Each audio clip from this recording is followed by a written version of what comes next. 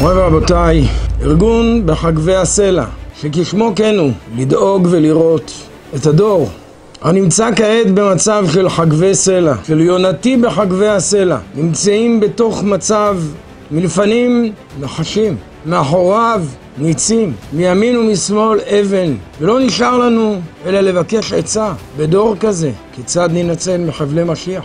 באותו מעמד עמדו בני ישראל בדיוק היום ביציאת מצרים. בואו ונראה אחים יקרים, איך לחפש עורך דין טוב.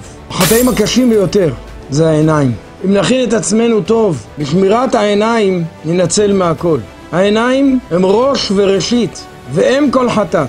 עיני עוללה לנפשי מכל בנות עירי. העיר זה גוף האדם. מי גורם את הצרות הגדולות לבן אדם? זה העיניים. ידוע על פי הקבלה, יש אורות, אוזניים, חותם, פה ועיניים. בכל האורות מהירות, משפיעות, אבל באורות העיניים הייתה שבירה. פה יש משבר, פה יש קושי. ויפגע, וזה התיקון העיקרי של האדם היום. היה הקדשה, אמר רבנו יוסף חיים מבגדד, היה הקדשה היא בעיניים. המהות של האדם היא נמצאת בעיניים. זה המקום שעל פיו מגיע האדם לכל עבירה, לכל נזק לנשמה.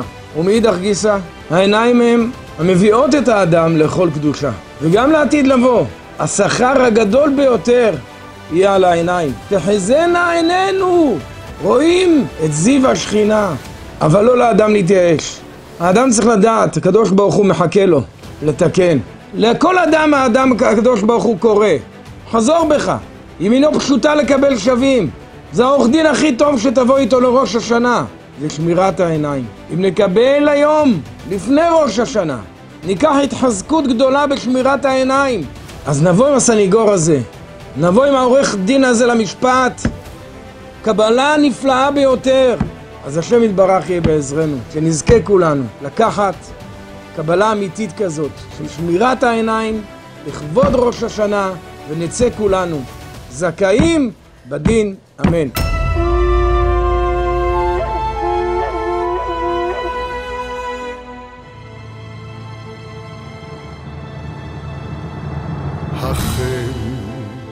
והיופי, העומק והמתיקות,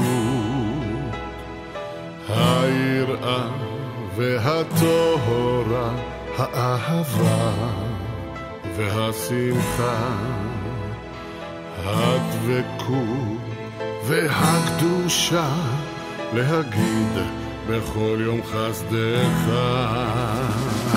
התורה והמצוות, הניסים והנפלאות.